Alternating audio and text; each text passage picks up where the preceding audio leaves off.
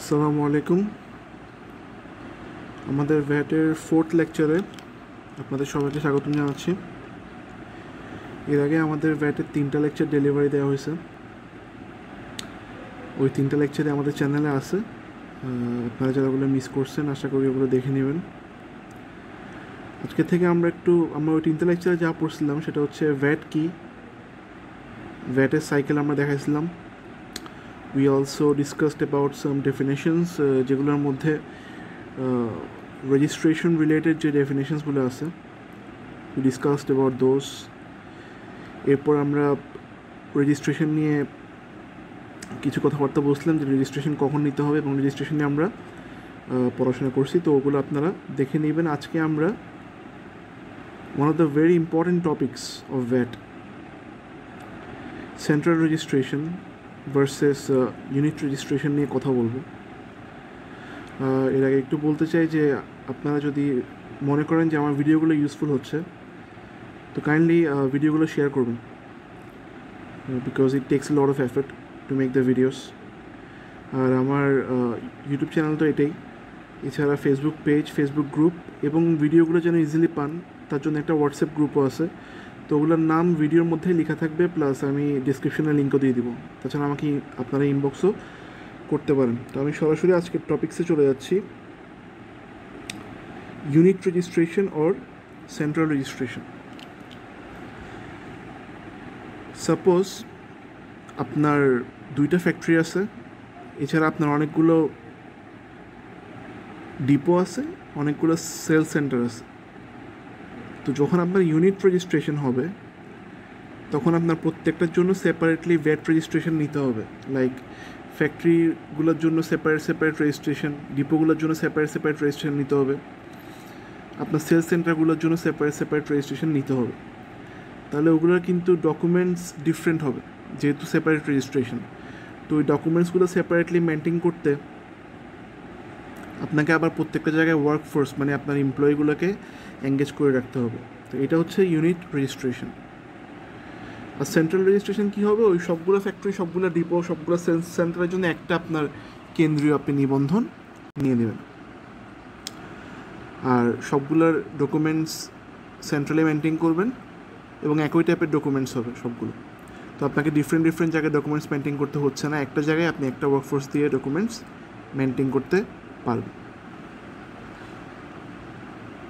তো আপনি চাইলে আপনাকে সেন্ট্রাল রেজিস্ট্রেশন দিবে না। কিছু কন্ডিশনস আছে সেন্ট্রাল রেজিস্ট্রেশন দেওয়ার জন্য। সেগুলো আমরা একটু পড়ছি। প্রথমে এক নম্বর পয়েন্টে দেখেন। If any person conducts its economic activities by supplying identical O similar goods O service from two or more places but preserves all accounts tax deposit and records centrally then they may obtain central registration. Definition আমরা আবার বলি যে কোনো person personal definition আমরা পড়ি নাই, আমরা ডেফিনেশনটা দেখে নেবেন। পার্সোনাল ডেফিনেশনের মধ্যে কোম্পানিও included ফার্মও included so it applies for everything তো if any person conducts its economic activities economic এর definition আমরা অলরেডি পড়ছি। যে আমরা যদি ইকোনমিক অ্যাক্টিভিটি করি, তখনই কিন্তু আমাদের ভ্যাটের প্রশ্নটা আসে। তো, আমি আমার ইকোনমিক অ্যাক্টিভিটি করতেছি আমি কি সাপ্লাই করতেছি? এখানে আইডেন্টিক্যাল অর সিমিলার পণ্য সাপ্লাই করতেছি। আইডেন্টিক্যাল আর সিমিলার পণ্য কি আমি আসতেছি একটু পরে? তো যাই হোক, আমি আইডেন্টিক্যাল অর সিমিলার পণ্য সাপ্লাই করতেছি অথবা সার্ভিস প্রোভাইড করতেছি টু অর মোর প্লেসেস থেকে। মানে আমার অ্যাটলিস্ট দুইটা প্লেস তো থাকতে হবে, তাইলে তো সেন্ট্রাল রেজিস্ট্রেশনের প্রশ্নটা আসবে। আমি যদি এক এক জায়গা থেকে সব কিছু করি, তাহলে তো ওইটাই তো আমার সেন্টার তো ওখানে তো এটা অটো সেন্ট্রাল রেজিস্ট্রেশন হয়ে যাচ্ছে।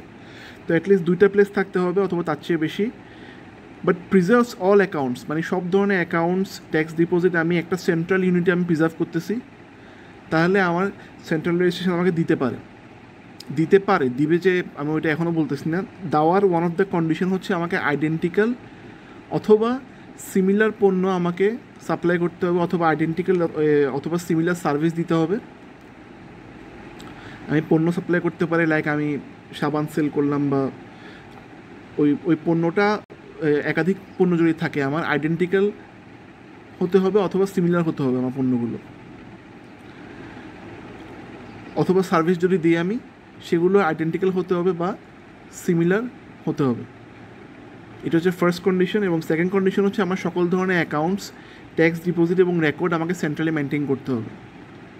তো এই দুইটা কন্ডিশন মেনটেন করলে আমার সেন্ট্রাল রেজিস্ট্রেশনের প্রশ্নটা ভ্যালিড হবে, নাহলে ভ্যালিড হবে না।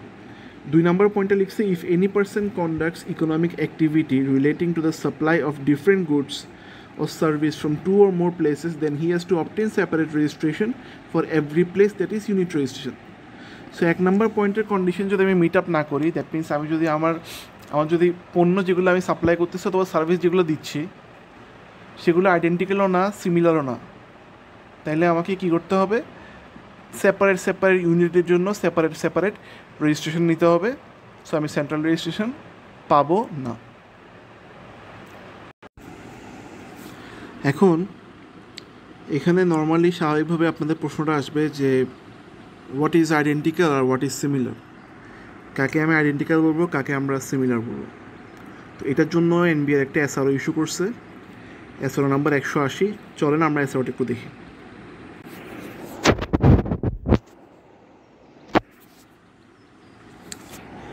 আপনারা দেখতে পাচ্ছেন এখানে এসআরও নাম্বার একশো আশি। এখানে প্রথমেই দুই নম্বর পয়েন্টে আইডেন্টিক্যাল সাপ্লাই কী হবে সেটার ডেফিনেশন দিছে।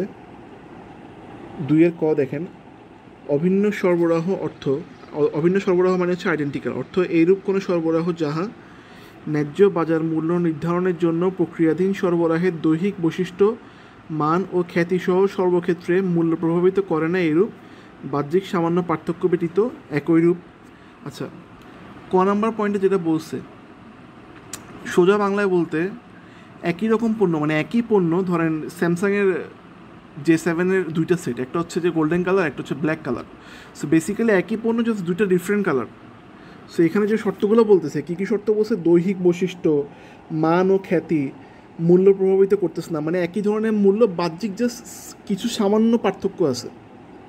তাহলে সেগুলো কী হবে? আইডেন্টিক্যাল পণ্য হবে। বা সেটাকে আমি অভিন্ন বলতে পারব, অভিন্ন।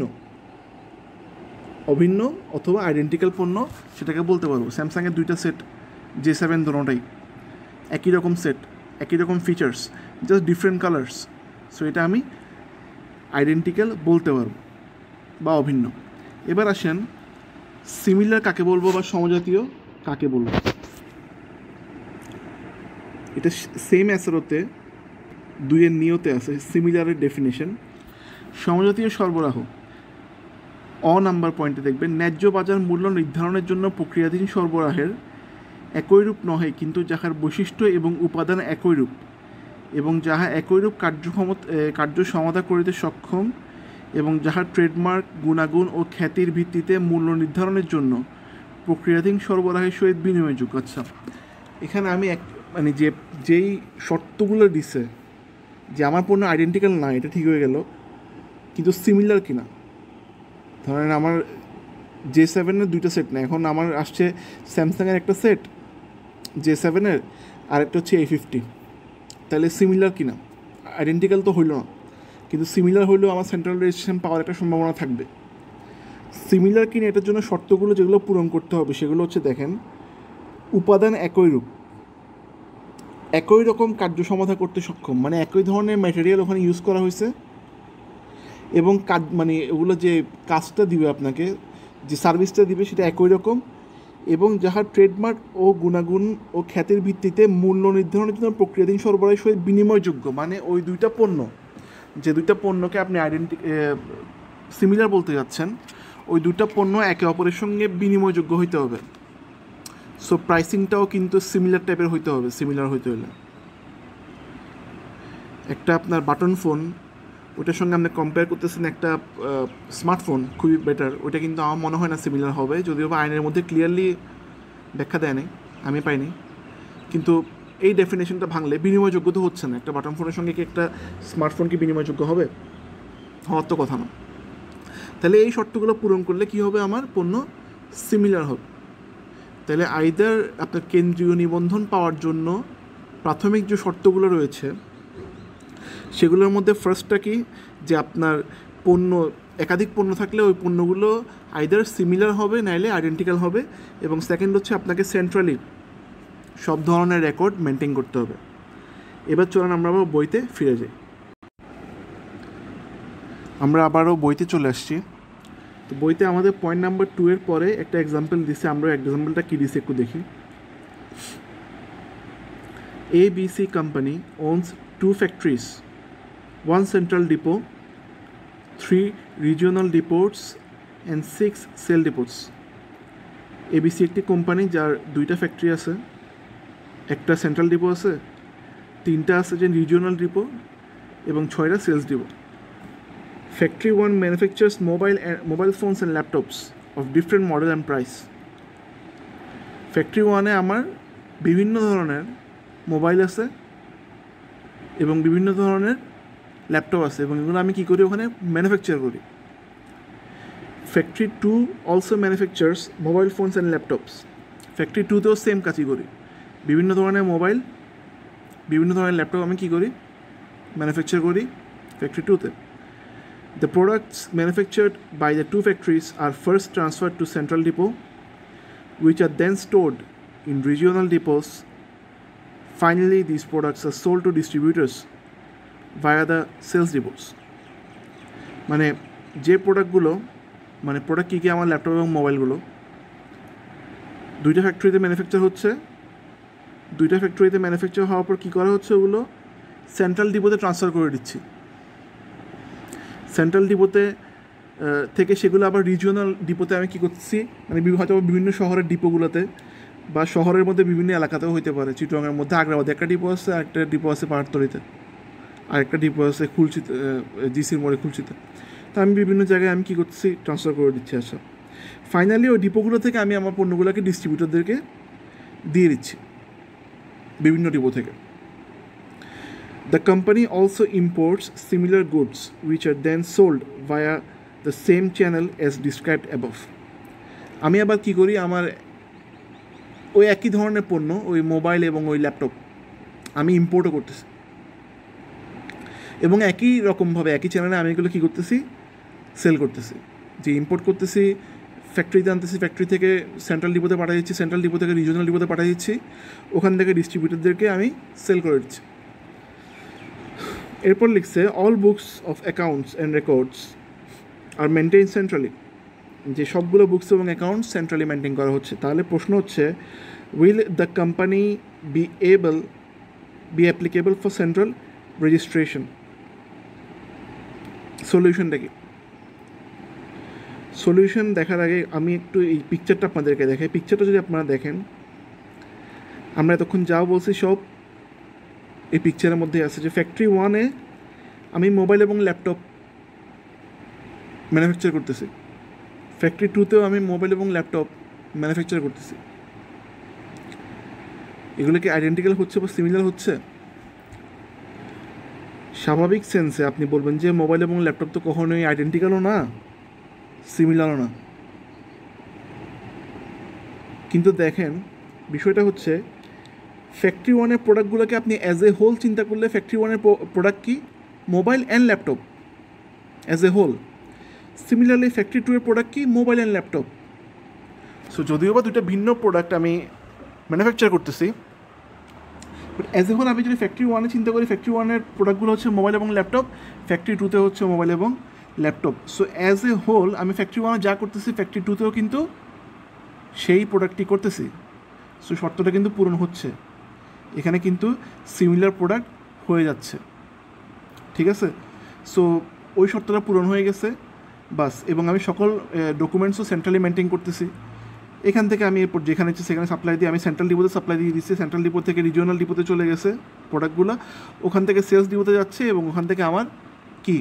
আমার ডিস্ট্রিবিউটাররা নিয়ে যাচ্ছে। সো এখানে আমি সেন্ট্রাল রেজিস্ট্রেশন নিতে পারব। যেহেতু যদিও বা মোবাইল এবং ল্যাপটপ ভিন্ন ভিন্ন, দেখেন যদি এরকম হইতো যে আমি ফ্যাক্টরি ওয়ানে সাবান এবং শ্যাম্পু ম্যানুফ্যাকচার করতেছি। এবং ফ্যাক্টরি টুতেও আমি সাবান এবং শ্যাম্পু ম্যানুফ্যাকচার করতেছি। সো অ্যাজ এ হোল কিন্তু ফ্যাক্টরি ওয়ান এবং ফ্যাক্টরি টু এর পণ্য সেম সিমিলার বাট যদি এখানে এরকম হতো ফ্যাক্টরি ওয়ানে সে মোবাইল ম্যানুফ্যাকচার করে ফ্যাক্টরি টুতে সে ল্যাপটপ ম্যানুফ্যাকচার করে। তাহলে কিন্তু সে দুইটা ফ্যাক্টরির জন্য সেন্ট্রাল রেজিস্ট্রেশন নিতে পারতো না। কারণ অ্যাজ এ হোল এখানে পণ্যগুলো কিন্তু একই হচ্ছে না। ফ্যাক্টরি ওয়ানে অনলি মোবাইল ফ্যাক্টরি টুতে only laptop so he will never get central registration in this kind of situation আশা করি আপনাদের ক্লিয়ার হয়েছে বিষয়টা। তো এই এক্সাম্পলটাতে তাহলে এটাই বোঝাচ্ছে ফ্যাক্টরি ওয়ানে মোবাইল অ্যান্ড ল্যাপটপ ফ্যাক্টরি টুতে mobile and laptop as a whole যেহেতু সিমিলার টাইপ অফ গুডস এবং আমি সেন্ট্রালি সব রেকর্ড মেনটেন করতেছি, আমি সেন্ট্রাল রেজিস্ট্রেশন নিতে পারব। অর্থাৎ আমার factory one factory two central depot তিনটা রিজিওনাল ডিপো এবং সকল সেলস ডিপোর জন্য একটা ভ্যাট রেজিস্ট্রেশন হবে। সকল ডকুমেন্টস ওই একটা ভ্যাট রেজিস্ট্রেশনের অন্তর্গত হয়ে সেন্ট্রালি মেনটেন করা হবে এবং একটাই আমার ভ্যাট রেজিস্ট্রেশন হবে। আশা করি এই এক্সাম্পলটা ক্লিয়ার হয়েছে।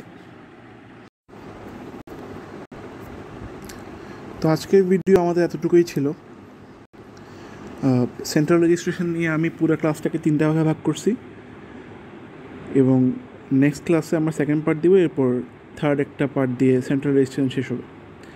আমি চেষ্টা করতেছি আপনাদের জন্য ভিডিওগুলো ডিটেলসে করার জন্য। সূক্ষ্ম বিষয়গুলো আলোচনা করার চেষ্টা করছি, বইয়ের বাইরেও বিভিন্ন বিষয়। যদিও প্রথমে ভাবছিলাম শুধু বইতেই থাকব, কিন্তু আসলে একটা বিষয় যখন আমি জানি, তো সেটা যেহেতু আমি একটা কোর্স দিচ্ছি, নিজে যেটা জানি সেটা না জানালে আসলে শান্তি লাগে না। সেটা বলতে ইচ্ছে করে শেয়ার করতে ইচ্ছে করে। তো এটাই হচ্ছে কথা। আপনাদের ফার্স্টে যেটা বলছিলাম যে কাইন্ডলি ভিডিওটা শেয়ার করবেন। আর হোয়াটসঅ্যাপ ফেসবুকের লিঙ্কগুলো ডিসক্রিপশন থেকে একটু দেখে নেবেন থ্যাংক ইউ